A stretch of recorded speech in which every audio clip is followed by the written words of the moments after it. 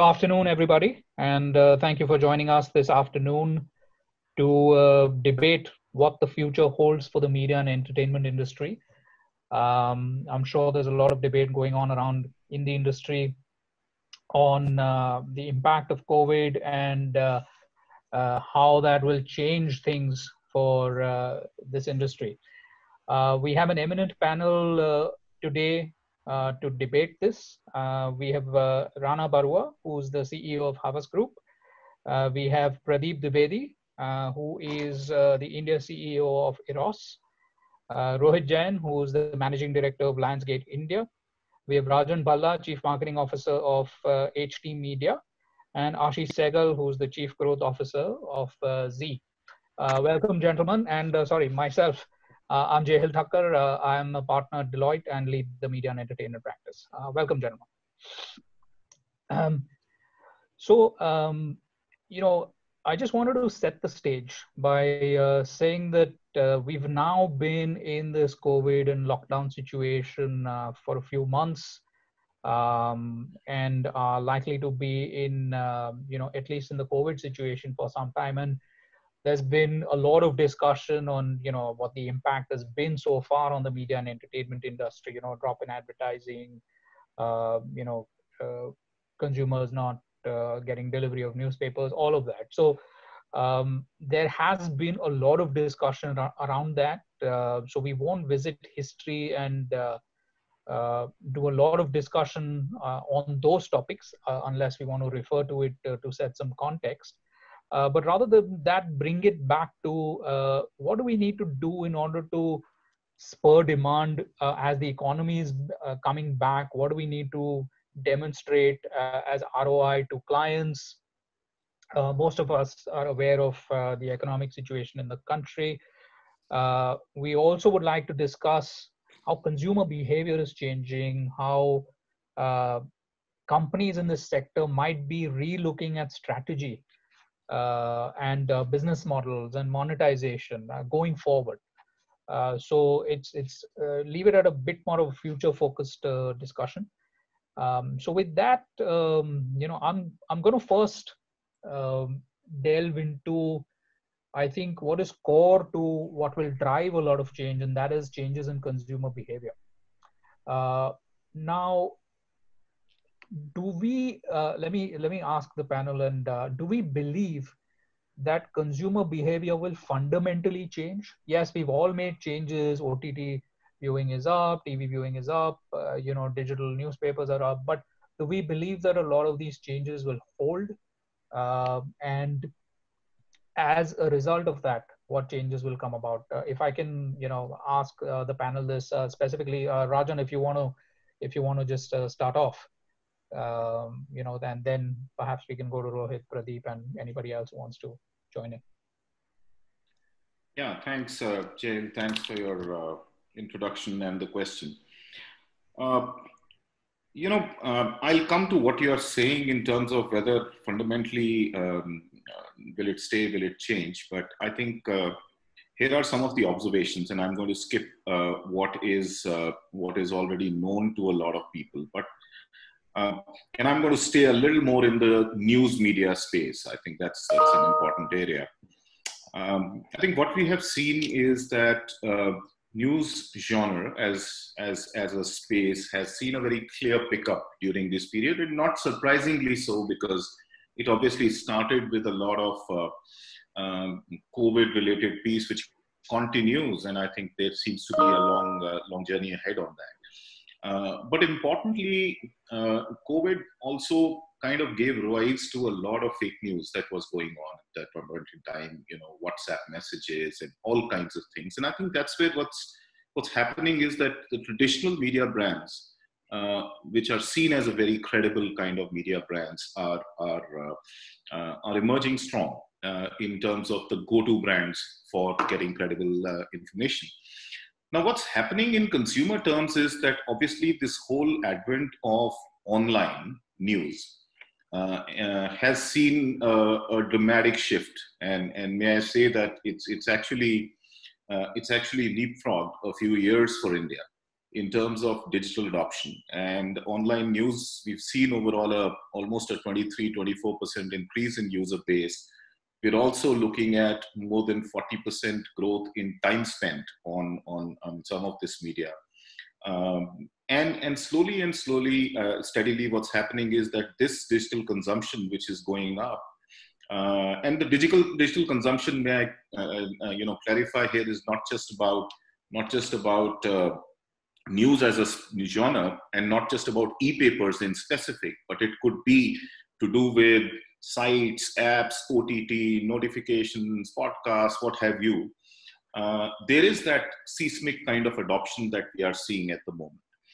And my sense is that this is uh, this over a period of time will form a part of consumer behavior, mm. uh, which may not uh, really, uh, uh, you know, which is only going to kind of speed up the online adoption and, and how they are going to be looking at it. So, from my perspective, I think it'll be a mixed bag. I I do also believe that consumers have short memories. Uh, you know, uh, who knows? One year down the line, you know, we'll all be looking back and saying, "Hey, there was something called COVID, and there was a pandemic that hit in 2020." But I think there are certain aspects of consumer behaviors which are going to stick, which they have adopted now, and there are many of them. I'll take a long time in explaining those, but uh, certain other aspects will slowly, steadily start coming back to normal. Uh, when that happens is pure conjecture. Yeah. Okay. Um, thanks, thanks, Rajan. So, um, Pradeep, any perspective on that from you? I think I kind of agree with uh, what Rajan just said. You know, the human beings have a big tenacity for having a resistance to change.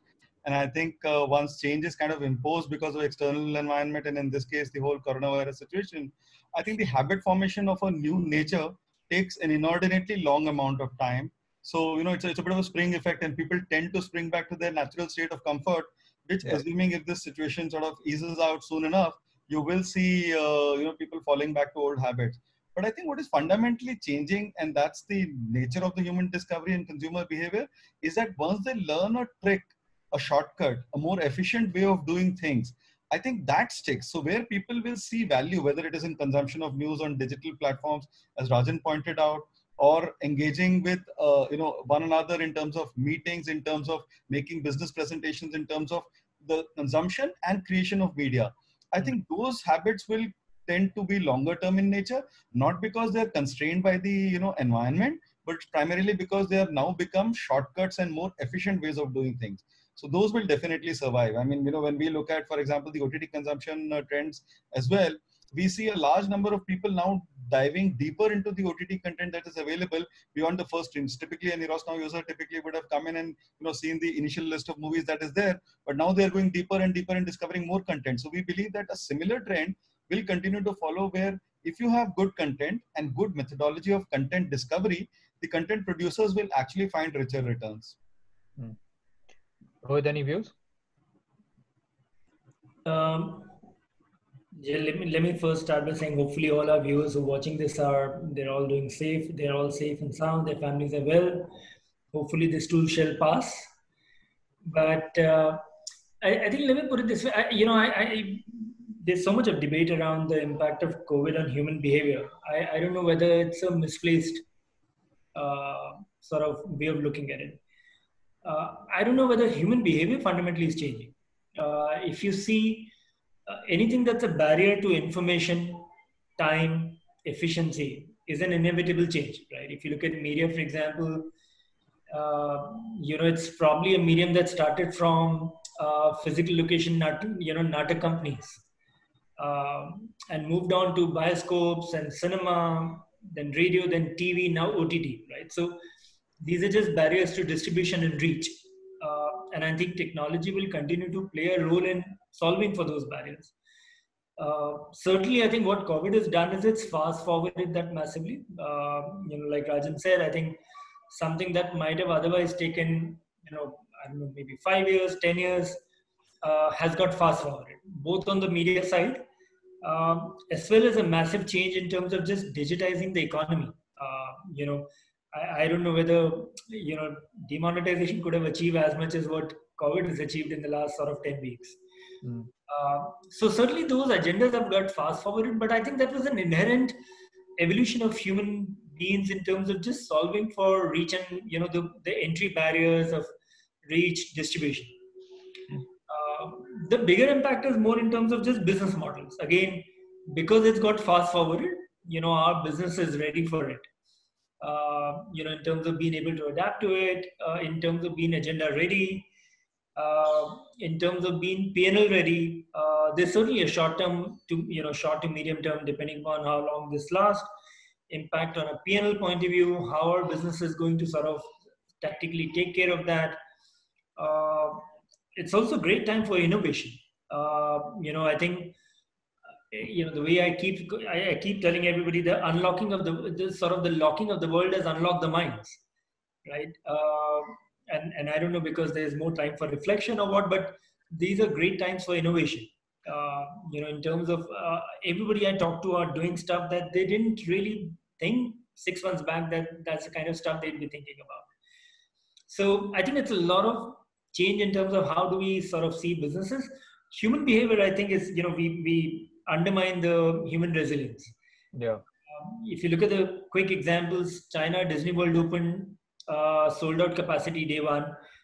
Uh, you know, up close Bombay. You know, the day government allowed a little bit, traffic is back on the roads uh, within a day. Again, I don't know whether it's a good thing or a bad thing, but uh, that's how we will behave. You know, human interaction, face-to-face chat, all of those things. You know, going back to cinemas when the time comes those are things that will come naturally to us. Yeah. So speaking speaking of that i mean that leads me to my next question and which was you know given that the country's opened up over the last few days uh, you know are we now seeing uh, you know clearly that was a blip in terms of behavior and uh, therefore business uh, for the media industry? I mean are we now seeing people coming back uh, in terms of consumption patterns? And you know also advertisers have they are they looking at media differently? Are they changing their plans from the what was? Um, you know, Rana, uh, perhaps Ashish as well as uh, you, if you can weigh in on these. Well, I think uh, you know, so it's naturally interconnected with uh, both the you know your first question and also the entire environment. So if I just take the first question, just partially to answer the question number two. So you know the consumers naturally what we saw at least uh, from a very advertising and a media and uh, overall perspective we saw that you know uh, they kind of got conditioned to a certain environment that got created. Uh, you know whether it's pre or post we can't even say because it is covid time. So for us now it's become a covid time for many many months. So i think what we saw is that they got conditioned to a certain uh, environment. We saw certain habits forming you know, we can, uh, you know, say that some habits became very innovative, some habits became very modern and all. So what we saw that the clients were naturally, and most marketers and advertisers were naturally also working around those that environment that was there. You know, so a total lockdown environment had a certain behavior and a certain way the media was behaving. And what we see now, and you know, these are very very early days, and this, which is why I think the entire conversation is about taking this entire thing forward where there's even a partial uh, opening up or a you know gradual opening up is seeing that you know the confidence of a lot of clients coming back. A lot of clients are naturally very positive. We are seeing a lot of uh, sentiments of you know spends uh, you know coming back. We can see different different figures that are being quoted uh, in various places. Internally, when we are seeing some of our figures, we are seeing that maybe you know we have gone back to pre-COVID time in terms of around 30%, 35% of media spends of pre-COVID time. I'm not talking full time, but you know the what I what the other thing I just want to make a clear point here is that you know the way we have classified essential and non-essential has also kind of dictated the conversation, which may be fair, may not be fair. Also, in you know, it maybe it's a separate debate but the way it got termed as that there were certain things very essential, and that became the reason why we were supporting or we saw a lot of advertising or conversations around it, like hygiene, food, etc. And versus certain very, very strong essentials became part of non-essentials. You know, so you know if you look at white goods, if you look at electronics, if you look at soft, uh, you know, uh, electronics, you know, there's so many things which are part. And now you need to see, you'll see a lot of these uh, you know spends coming back on mobile phones you're going to see a lot of spends coming back on uh, um, most of these categories that we are seeing so to answer your question movement has started uh, you know, I'm pretty positive about what we are seeing as initial results. And, uh, you know, uh, that is a good sign for us. Okay. Ashish, do you want to weigh in on here? Yeah, so you know, coming in, first of all, good afternoon, everyone, and thank you for me having me here. Uh, and now, you know, coming in last year, very little left to say. Actually, I think most of the panel members have said a lot of things which I would have said also. Um, so let me figure out or find out something what different I can, you know, say here. Uh, I agree with Rohit when he said that, you know, it's a time capsule which actually got forwarded, you know, pretty much in time. And the behavior which we were seeing, see, any human behavior is uh, is is uh, you know continuously changing. So there is a change happening every day. Now that change would have taken a little more time. Possibly this this whole unprecedented situation has created uh, you know a situation where you know everything got fast forwarded and people have started to utilize a lot of media or a lot of other habits that possibly would have taken a little more time but it was always there in the offing you know it was it's not that we were not seeing these things happening there were guesstimates and estimates saying that okay this will happen in 2 years this will happen in 5 years. A lot of that has happened started to happen now. Whether it is uh, media consumption the form of media consumption in platforms etc or people's own or rather consumers own habit uh, of their day-to-day life. That has you know in a way been reinvented in this period uh, and i'll add to Barua's thing where you know he said that you know during this period a lot of essential items which you used to think that you know after roti kapda makan there is a fridge and there is a television which is always required right? That has become a non-essential uh, piece in this situation. But it's only very very short term. It's very very short term. Uh, this is going to you know this habits will come back to obviously start spending on these kind of uh, uh, you know uh, items etc in very recent i mean the moment you know the economy has to kick in uh, they once it kicks in uh, government has already come up with stimulus etc so hence i believe that it will be another two to three months that we will start to trickle back to the earlier pre-covid at least kind of a scenario. so you're not seeing any, uh, so you're not seeing any fundamental shift in, uh, say, advertiser thinking that look, you know, this has kind of opened my eyes to do doing things a little differently, or uh, you know, given that consumer shifted more digital, etc. So, I, I, is that is there any uh, uh, signs of that happening, uh, Rana or Ashish, or so or that's all? okay, yeah, I'll, I'll, I'll add to that. So, you know, yes, the fundamental change which has happened uh, to adver- advertiser is that they are now started to look at the ROI even more deeply. You know, earlier a marketer would spend money more from brand and hence the ROI he could not measure from that perspective. Yeah. Now, even for branding during this period, they were asking, you know, a, a, a whole lot for their ROIs, etc. Uh, however, yes, uh, the way media is consumed, whether it is TV, print, television, uh, digital, out of home, those will uh, start to shift a bit in terms of percentages. You know, if digital was gaining uh, space in media uh, landscape uh, of an advertiser, uh, that has taken a little more precedence here. Possibly what you would have spent two years from now, he started to, I think, see the results right now, and uh, hence they're you know consuming more of digital medium for their marketing spends television still i'm in the core of television right now. So i i know how things have happened during the pre uh, post covid area or or the pre covid scenario and now how things are again picking up. Today the situation is that uh, uh, may uh, june is better than may and it's better by 20% you know july the kind of uh, projections which we are looking at is at least going to be 40% better than what june is and so my my my estimate is by October we should be back with the kind of run rate we used to have during pre-COVID scenario. Maybe not that of uh, uh, last year October because that was an unprecedented month, uh, which saw a huge jump in advertising at that time, mm. and also coming to uh, you know a lot of content which got held up during this period you know everyone will be creating a lot of lot many content you know live events will start coming back sports will look look at coming back. Um, like an ipl right now rumor is that ipl may happen in september. So if all those things comes in there is a whole lot of uh, you know uh, eyeballs which will be available for advertisers to choose and spend more and more. And please understand october seasonal time is also a time where every you know consumer product or any other uh, any product which is selling tends to create more consumption habits in the consumer. Hence that that is the time when we'll have to kick back that habit into the consumer to start consuming more and more. And advertising has to play that role. And so will have to the media. Okay.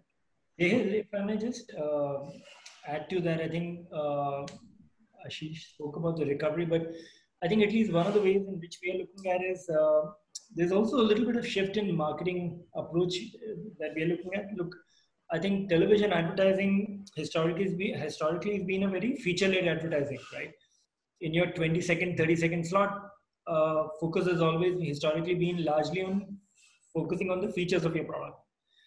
Uh, and digital marketing, I think, took that one step further to make it into a experience-led marketing uh, because you had slightly longer time, I think these are interesting times to focus on uh, a little more, you know, uh, innovative marketing, you know, gamifications, transactional engagement, uh, right? What's in it for, for you? Sort of make it a little more topical, little, make it a little more transactional, but also little, you know, a little bit of gamification and move away from sort of feature and experience, because in the short term right now, I, I don't know whether consumer really cares for the features of the experience Hmm. uh, how does it sort of fit into my day to day and that's the degree of shift sort of that at least we are looking at in the you know and you know rana of course rana and his team sort of guides us on our marketing uh, those are the kind of conversations we are having internally Rana, are you seeing that from other clients as well, or is uh, Rohit a flash in the pan? Yeah, in fact, if I can now just take this again, uh, you know, to a uh, you know one one one uh, step ahead. You know what is what is uh, coming out, and you know, so I'll just refer to the COVID times again, which uh, you know is not uh, something which you realize is that you know a lot of us and, and this is a universal you know we are trying to come out with a study hopefully by july which will kind of exhibit in a we're doing it in a sample size of a decent sample size which we've seen in many other countries. It's called the meaningful brand study. So what you will probably figure what we're trying to figure is that you know when brand cease to interact and have a meaningful connection with you or a relevance or some kind of a conversation whether it is in the most toughest times or whether it's the challenging times or the best times when you know when we are in a celebratory mood or when we are absolutely fine. You know if you look at it that probably you'll realize that there's so many brands which have disappeared from the life in the last uh, 90 days. I don't want to name them but you know they've just disappeared. And what if i just take it away completely? Would you miss them? Would you uh, talk to them? Will you engage with them? Because you've suddenly become a smart human consumer and we started adopting new, new, new things. So yeah, you know, so that, that's the scary bit. But like I said, we won't get into that because we want to be positive. We want all the brands to come back into our lives and we want everybody to, you know, because the consumers are there. There's so many, so many people in this. But what we are seeing truly, and you know, if I had to merge Ashish and what Rohit also said, and I'm sure you know a lot of other clients we are seeing is that what is the conversation that i'm going to have with my consumer and how do i keep a story going with him?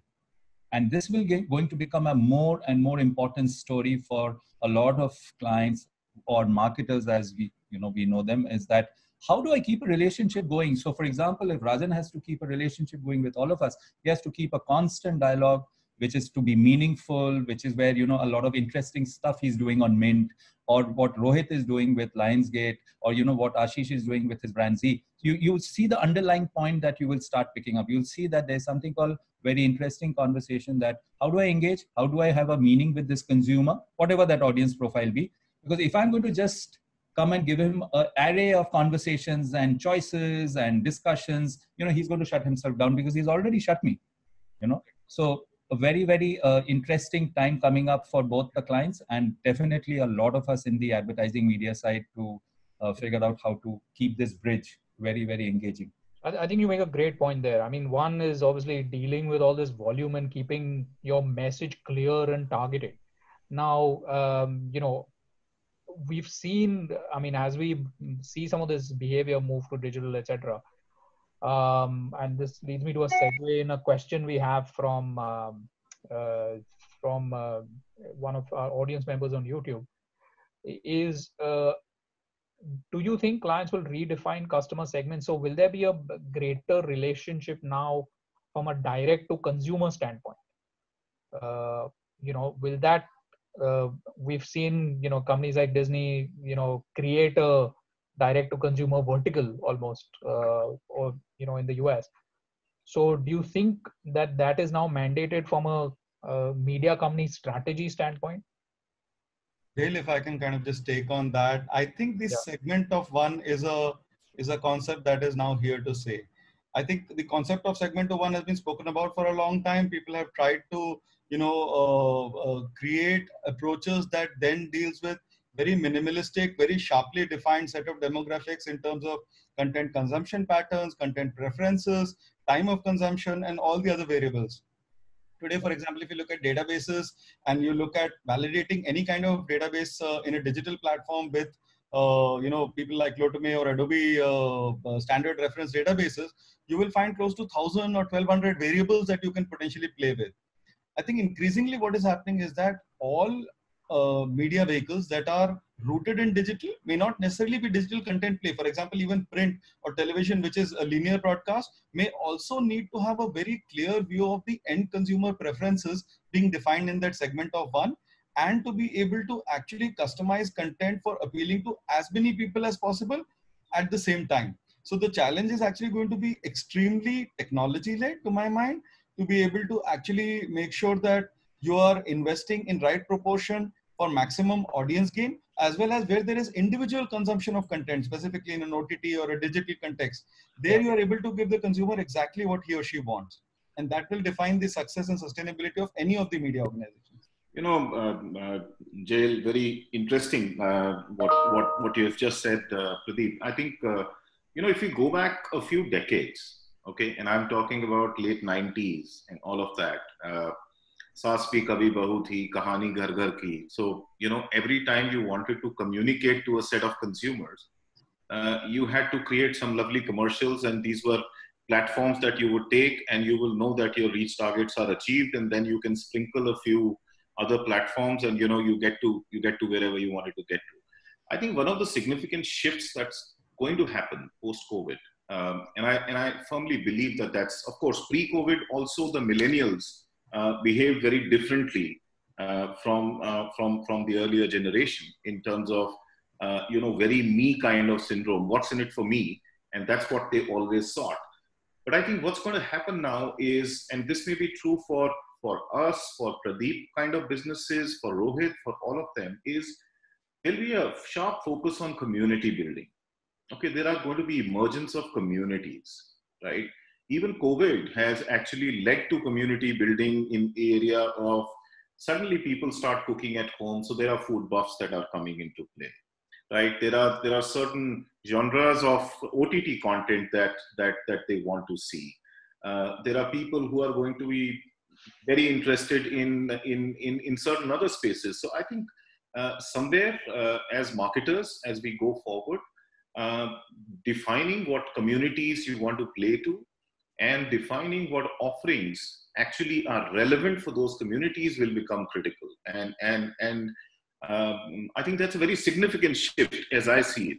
Uh, from from what was a spray and pray kind of strategy one point in time, and it used to work to a very sharply targeted strategy. Great points. So, um, you know, I, I just want to uh, take a sideways question to that. Now obviously like uh, uh, like you said pradeep we're trying to target content at uh, you know down to an audience of one as well as simultaneously address uh, you know large audiences that we might want on television. Um, and will content creation practices uh, you know how will they change? I mean given that uh, you know one obviously currently there's not a whole lot of new production going on but uh, even when some of these shackles come off uh, we're able to get back onto sets and and start uh, how can content producers start thinking differently how are content producers uh, as we know, many of them are, you know, small, medium-sized production companies, etc. Uh, how are they starting to think about, uh, you know, how to target some of these audiences as well? And similarly, Rajan, I think from a from a print standpoint, are you also then addressing uh, more and more uh, targeted or smaller segments in order to achieve greater ROI? uh, from a print industry standpoint. So I'll let Pradeep go first and then Rajan, perhaps you can follow. Sure. So thanks, Jehil. So I think you bring out a very salient point today. And while you know all of us are keen to get back on the shop floors and you know get our production started, get the talent back in the scene, there is obviously concern in the ecosystem. There is concern on the talent front as well as the uh, the regulatory front. You know the kind of conditions that are being stipulated for us to recommence production. And I was, uh, you know, uh, sharing with a friend earlier that when we do cost assessment, it will typically be three times the cost. And it's not that we're unwilling to pay that cost, but the question is that even if you incur that cost, your ability to guarantee a completely aseptic environment, which is completely clear of coronavirus and de-risk yourself, both from an insurance standpoint as well as a health and safety of the employee standpoint is very difficult. Yeah. As with anything, I think technology is one big solution that is coming into play and you know all of us have traditionally used green screen technologies to do some kind of scenario shooting where you know it was pretty much complex. We have used technologies uh, such as visual effects and post production to finish up the movie in such a way that the overall end product looks very appealing, etc. And we've seen good success out of that. I think two fundamental shifts that will happen is that the whole VFX ecosystem will now move much further ahead in the value chain, and it will not wait for a post production VFX to come in. So essentially, I mean, if I was to just give you, for instance, we have recently kind of tied up with Epic Games, uh, you know, which uh, runs Fortnite, which is one of the largest esports that runs, and they create these virtual universes. So our ability to take their Unreal Engine and create a virtual universe which could be set in a modern context, which could be set in a mythological context. You know, imagine yourself being a Keanu Reeves in a Matrix kind of a universe. That is exactly what is going to happen. So what you're going to see is going to be a combination of the talent performing in an environment which is completely safe and secure with minimal risk to himself or herself at the same time leveraging of technology in such a way that the outcome is near real. Now uh, big question would be can as you pointed out small or medium producers afford that? As with march of technology we have always seen that as you invest more in a particular technology paradigm the cost disproportionately start to go down whether you look at computing power, whether you look at your smartphones. And I think the production technologies are not anathema to that. Is exactly what is going to happen here as well. So we believe we will have a, an optimum sweet spot of technology investment that will allow us to create great compelling content with the level of authenticity that the audience desires and expects and more importantly is willing to pay for. I'll, I'll let Rajan take a shot at uh, his side of the business. Okay, my, my side of the business is as, not as entertaining as your side of the business, but uh, let me give it a shot. So, uh, Jehil, I think what is going to happen, and, and I'm very uh, clear about this in my head, finally, it is about the content that is going to define whether you will get the eyeballs or you won't get the eyeballs. And when I say content, it might seem like a very global statement to make, but, but really, uh, there is a big difference between, let's say, Gen Y and millennials in terms of the kind of content that they want to read okay.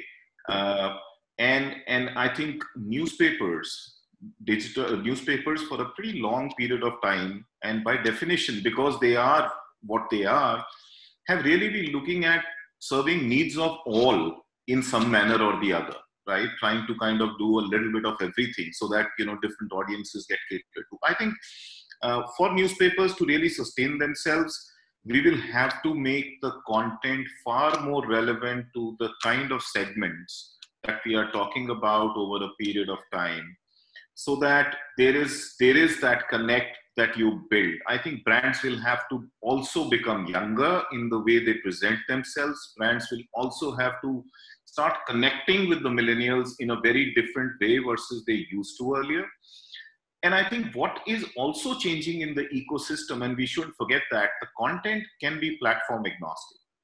So, a print plus digital is the way a company like ours would view the entire ecosystem now. How do you take consumers from print onto digital platforms, from digital back on print platforms, and technology sitting right in the middle actually today can be a big enabler of how those transitions are going to happen So everything can't be covered in a 24 page newspaper, but you know what? Content can become complementary in terms of how the two come together. So I think eventually it is going to be all about that. Uh, and and I, I, I do I, I, I am an optimist and I think newspapers have a long runway in this country and they will continue to be but I think they will have to do it in conjunction with very smart strategies on print plus digital together. So so speaking of that, print plus digital and you know I mean we've talked about uh, or the industry's talked about digital and you know the the coming monster of digital and eating up uh, existing businesses and all of that. Uh, but uh, you know monetization remains a problem. Now if this pace of digitization accelerates because of things like covid etc um, you know are we looking at a crisis in the industry where you know uh, where monetization is a problem uh, on digital and will that continue to be the case? And uh, how do you then monetize all these all these digital eyeballs? Uh, any any have we have we seen any innovation? Have we seen any practices today that we think can become uh, best practice for the industry to to to uh, emulate and then uh, you know grow? So um, I don't know Rohit have you have you you want to take back that at least over the last couple of years we've seen uh, on the contrary monetization for digital improve drastically um, and that will only continue to sort of improve uh, on account of many reasons, right? Look, uh, I think digital payments is becoming more and more prevalent in India. Uh, you know, thanks to the number of uh, payment methodologies that are available today. Uh, for the longest time, the country was caught up between net banking and credit card low penetration. Uh, I think some of those bottlenecks are going away, right? So, and the kind of stuff that I think Jio, Facebook, all of those consolidations will continue to do will only improve their agenda. So uh, I think that's so one bottleneck was really the you know the, just the digital payment ecosystem, uh, and I think that's certainly dramatically different today where it was compared to two years back. Uh, and I certainly you know like to believe two years from now it will only be significantly stronger.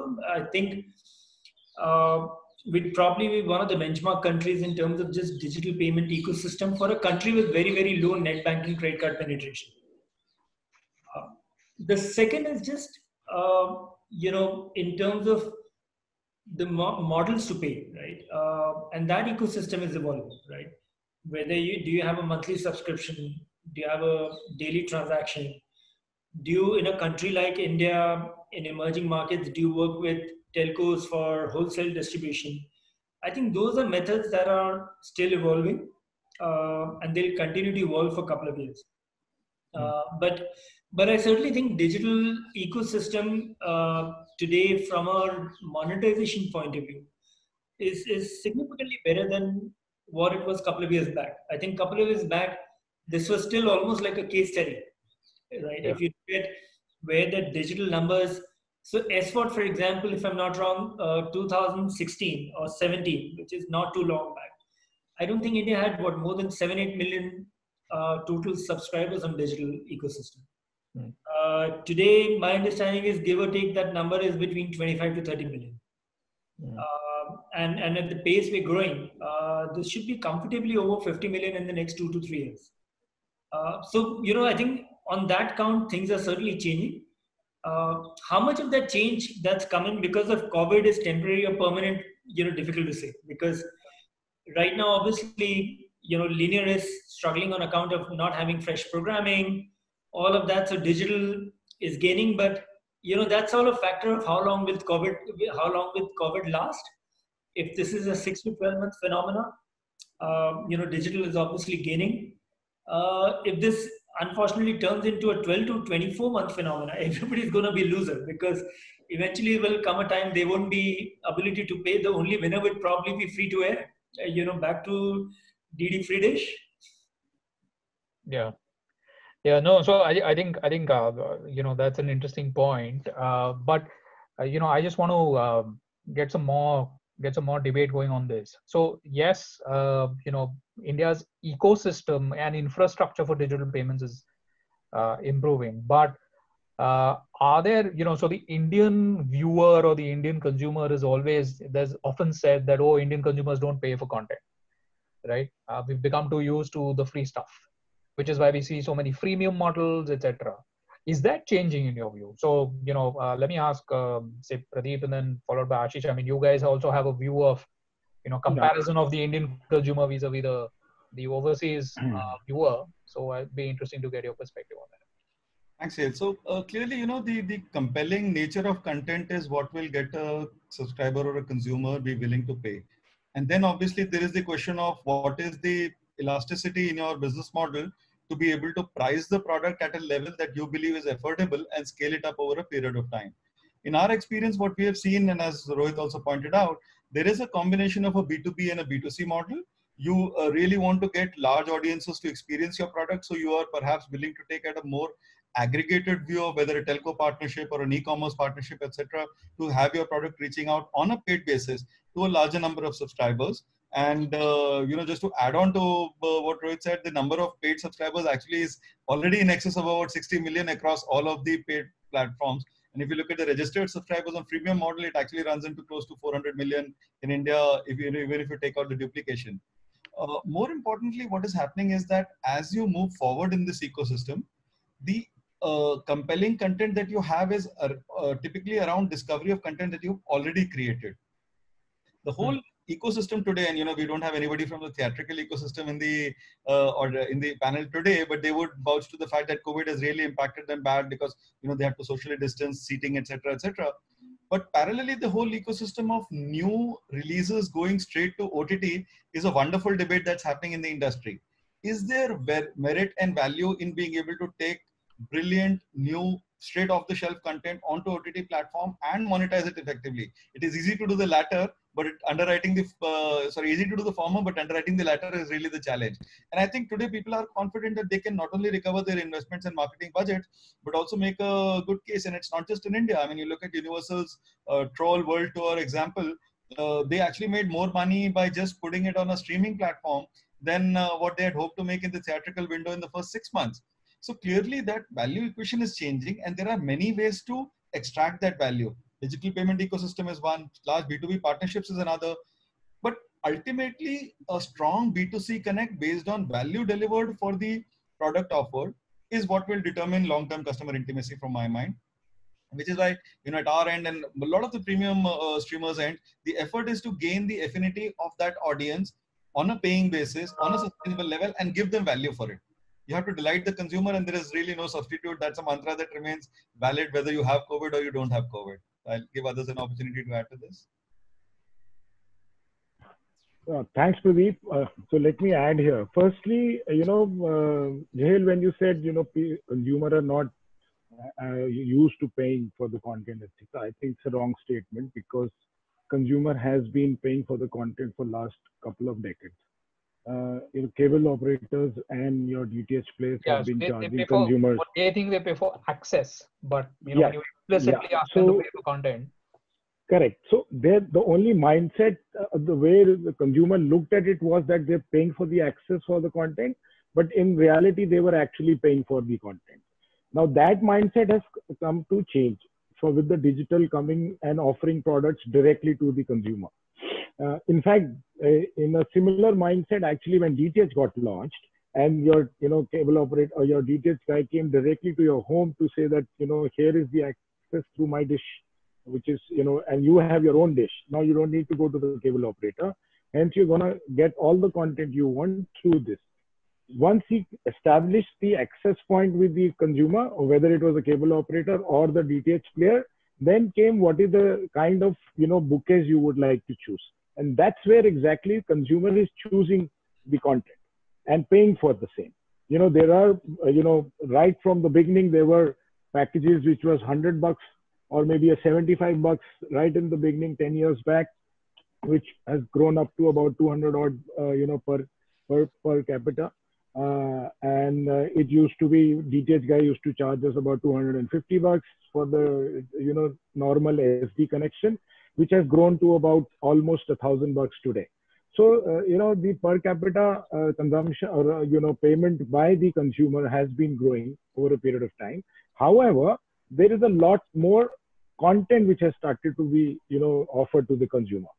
Now comes the access to the consumer directly as per his choice through digital, whether it is OTT or any other kind of digital medium content he wants to, whether it's newspapers or etc. etc. They are getting, you know, offered to be consumed in any form, uh, and hence they have been given a choice whether to consume that also free by a, a lot of players, and there is a, you know, OTT players, etc., who are giving them an option to, you know, be behind the paywall and start paying for the uh, content they have been offering to them. So even if you see today, uh, only in India now you have a AVOD model. You know, like in other part of the world, especially in US, etc., the only uh, not pay paywall is the streaming content which you're getting. Okay, otherwise almost everything is uh, behind the paywall. Very few OTT plat platforms are offering a what this thing. However, here in this country, other than Netflix and Amazon, almost all players are, uh, you know, at least the Indian players are providing you or giving a consumer an offer of free content through OTT as well. So there is a choice for consumer in this country, which is a beautiful thing because unlike any other part of the world, uh, you know, there are very limited choices a consumer has. He's he's been given a choice to pay either less or more. Here is the choice even in the uh, TV or a linear format where you have a free dish where you can consume co content completely free of cost. And there is a premium content available through DTH and cable operators. And for that, hence he's paying. And with this NTO coming in in 2000, uh, uh, you know, 19, it was made very clear to the co consumer that was whatever you want to see, you just pay for that and start consuming that content. Hence, consumer in today's mind, in today's consumer, in his mind is actually has started to pay for the content. Uh, coming to, and I'll touch upon also what Pradeep just mentioned about, uh, you know, theatrical releases and the movies getting released on digital now directly or on OTT platform. This is another beautiful business model which has developed thanks to COVID. It possibly would have never come into any studio's mind, you know, that to start launching uh, uh, uh, their movies, etc uh, on the OTT platform unless and until commissioned directly by some of the OTT guys, right? Mm. Now, uh, what will happen is that the market will expand. It's mm. not going to eat away with the theater uh, releases. If mm. theater releases are still going to be there once you know theaters opens, etc. People will still go to theater. You know, today people are not going to theater for just watching movie.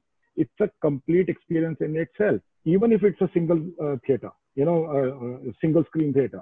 Forget the multiplexes. Obviously, multiplexes is a complete experience on its own. However, there is a large number of consumer who is also wanting to watch a more and more content, you know, which is provided to him at his own access point, which is possibly at his home or wherever his access point is through his digital, uh, you know, uh, handset, etc., etc. So that market has suddenly emerged so what what will happen is there will be more and more jobs for studio makers, or mm. more and more content which will be created, which will be possibly now targeted towards that consumer, which is want to just consume that directly onto the OTT. OTT will have another business model by having uh, you know uh, creating a TVOD model also. Right now, everybody is working on SVOD model, but you possibly can have a TVOD model same thing can go on to DTH. You know, Tata Sky and all these guys has been fighting for or the DTH player who has the technology to show consumer what they want to see. I mean, pay for the movie and watch it uh, mm. on their this thing. They will also start to suddenly actually have that kind of an op option uh, or an offering for the consumer. So I think the ecosystem is evolving and it is evolving for the better. Good. Thanks. So, so I think uh, I'm going to go to uh, some related. Um, uh, I think we have about 10 minutes left, and uh, so I just do want to take some uh, audience questions. Um, you know, I think I think one of the questions is that do you see the rural market or the Hindi heartland? You know, we've also seen a few channels again go back to free dish. yes. You know, we have also, etc. Yes. you know, is that driven by uh, you know the growing uh, uh, you know a lot of the government programs of uh, targeted spending coming from there uh, etc migrants etc what do you think is driving and do you think that market will continue to grow And uh, you know, Rana, do you think this is now, uh, you know, a lot of advertisers now looking at this market uh, a lot more seriously, say, than they were doing two years ago?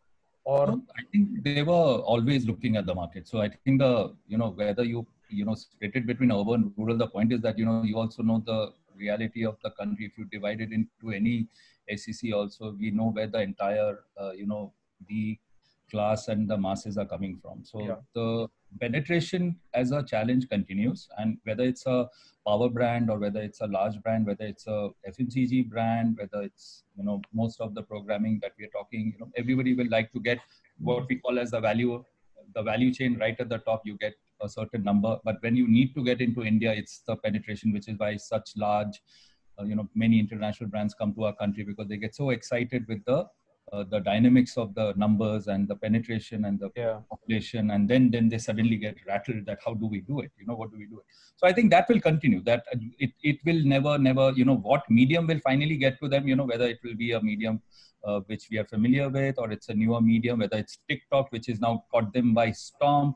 You know it depends on what kind of conversation and i agree with everybody that like i keep saying that you know it's the content which will drive what form of content whether it will be engaging whether it will be short form whether it will be you know movie form whether it will be fun. But uh, you know that rural or you can call it the semi urban which is now becoming higher in the pyramid chain for most marketers i think you know the numbers are definitely lying out there. If i'm going to go for a massively volume business and value naturally will come because you know just to answer one quick one you know for the earlier conversation i definitely am you know we see a shift of uh, you know people you know reaching out to their wallets to pay a bit more for better content and a better programming and better you know kind of forms of engagement. So you would see that also happening. So you know in in all i think you know it's good for uh, it's good for us that you know because you know like like i keep saying you know it's not going to change automatically but you know the point is that the consumers that are emerging and i think rajan did touch upon it there is a new form of consumers, what we call as the younger or the millennials, and all, you know, they're going to be a bit more different with the way we have seen uh, the country behave in the last many years. And you know what, the the COVID is actually uh, has demonstrated that bit that there is definitely if you see your own house or any houses where there's a family and you've got children and you you will see that there are two different worlds operating in one same house and yeah. you know, coming from an advertising background for the last 90 days has been not an insight for me, but it's completely made it clear to me that you know uh, there are two different worlds parallelly working right now in our country also. Yeah. Speaking of two, uh, very very quick point, I'm not going to belabor on this, but I think uh, with the migrants uh, going back. Um, it's it's obviously not clear whether they're going to come back. They're not going to come back. But you know, in in millions as they are going back to their hometowns in UP, Bihar, and all of these uh, locations.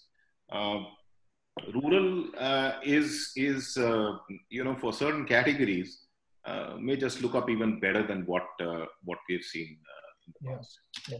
And speaking of you know speaking of two different households, etc.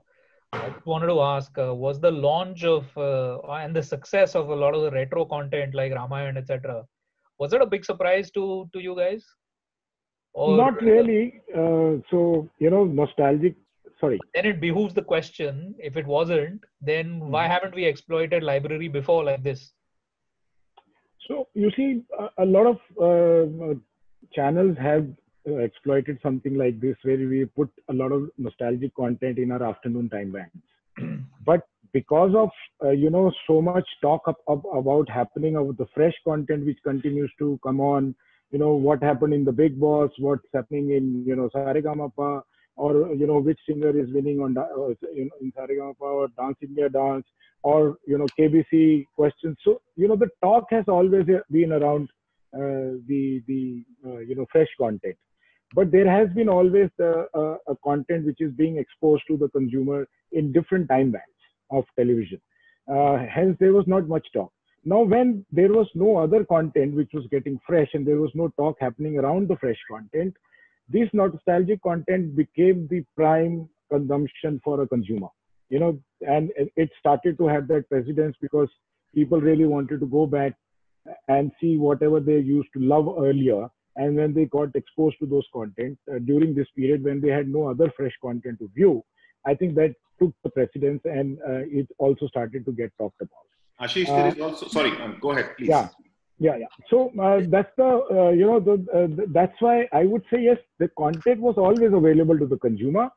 It's because the that became the choice of today in the COVID scenario. It saw a lot of rating, you know, backing it up, and as well as there was a lot of uh, talk happening around it. Yeah, you were adding something, Raj. No, no, I, I, I was just saying, and this is a hypothesis. It may, may or may not be true, but you know, if you recall when Ramayana used to happen in um, decades back, there used to be almost a, a nobody on the streets because it was all family viewing. Yes. And then the family dispersed into their own platforms. But what COVID did was bring the families back again together.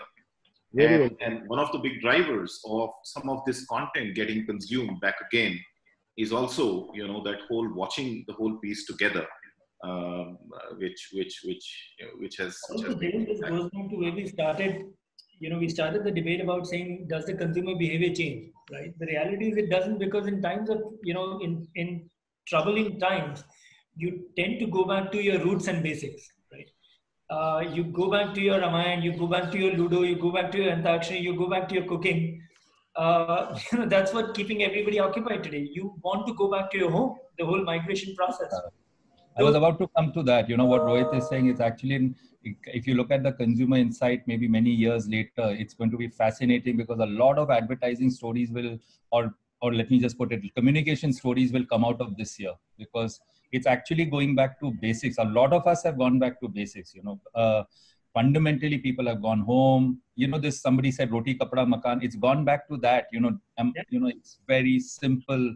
You know, that's why you know my I'm coming from a very strong advertising medium. My point is, which I keep telling most of my clients, don't stop talking to your consumers. While I understand there is no sales happening, I understand there's a big challenge but you must keep the relationship going on with your uh, you know the consumers. Don't go out of their mind. Don't go out. Because you know if the consumers walk out of this and forget you it's going to be a massive challenge to go back into their life again. Because they've kind of you know they've gone back to basics like Rohit is saying you know. So yeah I agree with Pradeep. If you yeah sorry.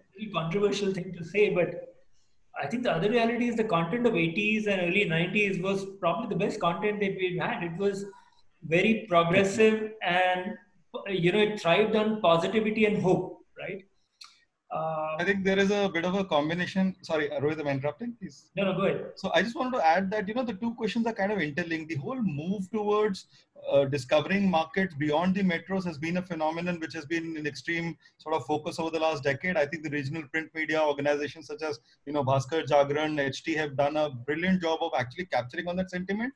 And I think it is time the other medium sort of caught on to the fact that there is not only a huge demand for content, but there is also a propensity and willingness to consume and pay for it. So that's point one. Second is this whole uh, mythological, you know, things like Ramayana, etc. running. We have to look at it not from a you know a religious content perspective, but more from a social cultural ethos of a country as a whole. I think there are these universal stories that have been passed down in generations. And I think as you move to the hinterland India or so-called interior India, which to my mind is actually the real India because they are also wanting to aspire to all the things that are global and all the things that are universal. And yet they want to remain rooted in your own cultural ethos that they have seen over a period of time. So what is basically going to happen is that we will find new ways of retelling the same stories. A Ramayana may not necessarily be told in a you know Ram Ravan uh, religious context, but may be told as a fight between good and evil, manifesting itself in a new story format which is based in current scenario. And I think as filmmakers, uh, us and a lot of other studios are looking at these compelling stories to create content that then links back to India. And I would just you sort of defer to a segue to a small example here. If you look at uh, Parasite, which won the best uh, international, not just international, but the global best movie award.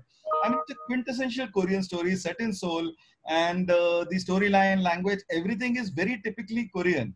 And yet, there are universal values in that movie that a person, whether in Bareilly or in Berlin or in Birmingham, can relate to because the aspirations of, you know, desire to grow, desire to be successful, uh, jealousy, aspirations, all of those are universal values. And as content creators, whether on you know entertainment side or on news side if we stay true to the core of what our brand promises to our audiences i think we will have a, a sure shot uh, path to sustainability and profitability covid or no covid that's the way i look at it I think on that uh, on that hopeful note, uh, you know, to cheers to prosperity coming for all of us. Uh, I want to thank all the panelists. I think we've uh, hit uh, four o'clock and our time is up. So uh, thank you, Rana. Thank you, Pradeep. Thank you, Rajan, Ashish, Rohit.